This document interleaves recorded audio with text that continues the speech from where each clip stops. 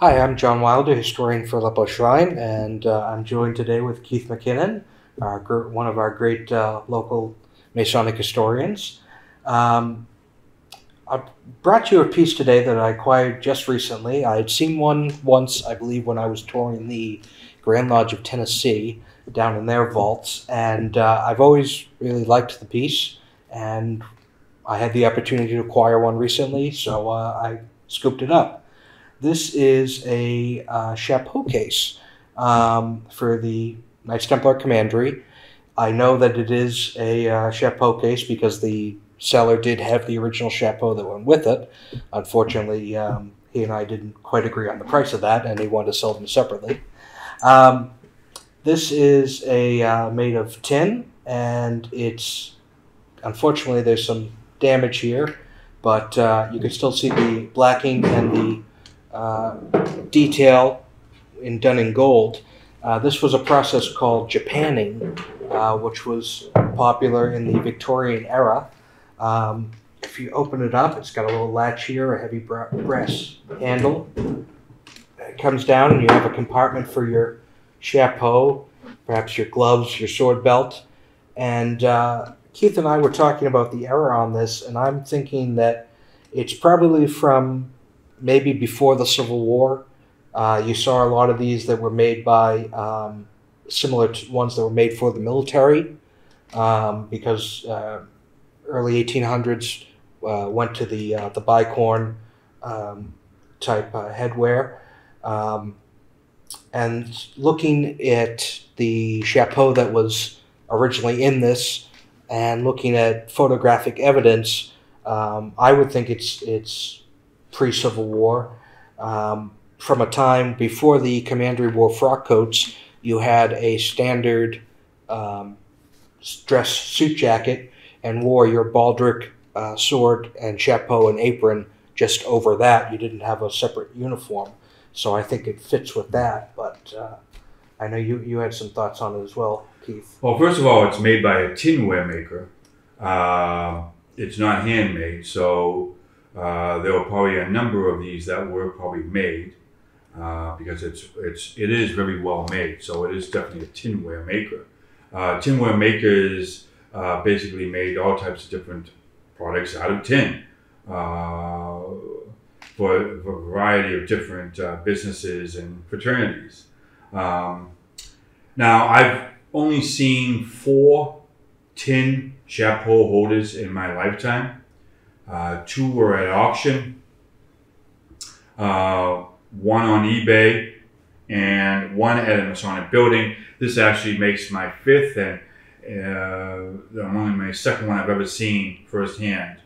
Um, though these cases I have seen date back to as early as the 1820s uh, for military uh, individuals who wore chapeaus, but a different type of style of chapeau than what we wear the commandery, of course. Um, their chapeau would almost take up the entire case itself. Uh, and a lot of them have come up on auction that have been preserved since the 1820s and 30s, and they have the tin chapeau cases. Um, but yes, I would say this is probably pre pre Civil War. Um, the ones that I have seen uh, were usually uh, done with the individual's name in a gold leaf and perhaps the commandery emblem on it. Um, unfortunately, this one doesn't, but uh, John's going to keep it uh, for his own personal collection. I don't see why someone couldn't add that little bit of art well, to the case. Un- unfortunately, I, I did try to jam my chapeau that I wear, and unfortunately, I have a rather large head, and it's just slightly too big. So I may it may be worth having a custom chapeau made just to fit. um, chapeau cases came in a couple of different uh, styles. Uh, down in Attleboro, they have a beautiful composite one uh, that was, as John mentioned, Japanese lacquered, uh, which is basically painted black and then multiple coats of lacquer put over it to make it a hard shell. Uh, that one opened up from its side. That one dated probably about 1860, 1880s. Then you have the thin leather ones that came out, uh, which were very popular. And most of those I have seen in, in armories and whatnot. But the tinware, you know, I would highly suggest each and every one of you, and don't go around destroying your building and breaking into closets and whatnot. That's not what I'm asking you to do. But in some of the bigger buildings that have larger commanderies, I wouldn't be surprised that you might find Yeah. one of these. Um, the old suitcases and whatnot, uh, days gone by. They're not used anymore.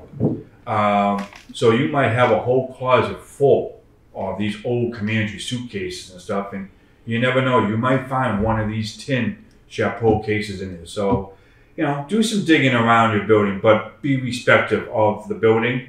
Uh, ask always first. Um, and hey, if you do find something like this, get others involved. The more that know about a piece of history like this, the better that we can preserve this fragile fabric of our past. Thank you, John. Thank you, Keith. And uh, I think you mentioned a, a good thing where you uh, may have to do a future video on the different types of suitcases that were worn, I mean, uh, used, because uh, I've seen them in Commander and I've even got some from the Shrine that are quite interesting. But uh, thank you for uh, your insight on this, and I'm uh, proud to be the caretaker of this. Um, so if you like what you see, remember to uh, like our video, subscribe to our YouTube channel, and follow us on Facebook. Thank you.